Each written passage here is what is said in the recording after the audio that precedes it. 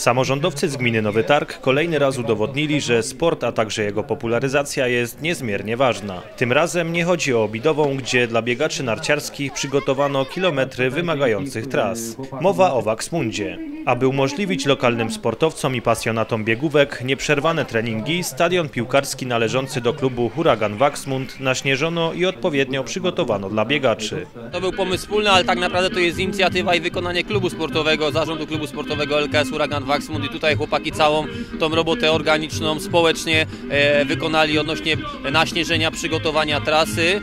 E, oczywiście my wspólnie o tym myśleliśmy w urzędzie gminy, no bo śniegu nie ma nigdzie, dzieciaki mamy, które uczestniczą w programie narciarstwa biegowego, ponad 120 dzieci. No fajnie było, żeby miały gdzieś biegać oprócz Obidowej, gdzie, gdzie też teraz warunki były, były trudne, na dziś już są lepsze.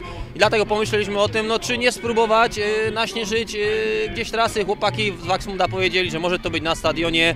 Stadion jest oświetlony, jest do tego przygotowany, jest odpowiednie zaplecze, jest zamykany, nikt tych śladów nie zniszczy.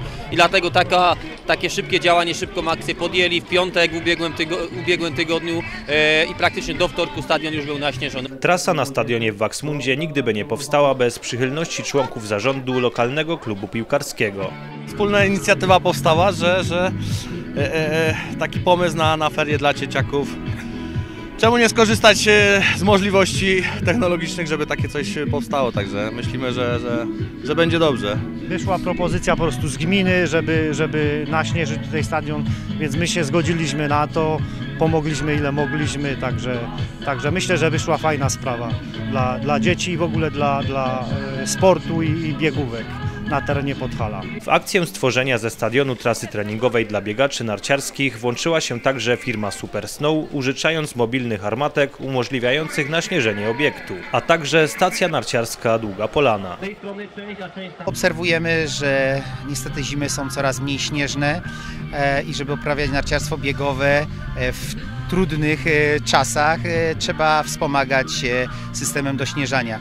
Dlatego taka jest nasza filozofia, że wspieramy wszystkie projekty, które pozwalają tego typu e, realizacje. Nasza firma produkuje specjalne zestawy mobilne do naśnieżania podobnych tras biegowych.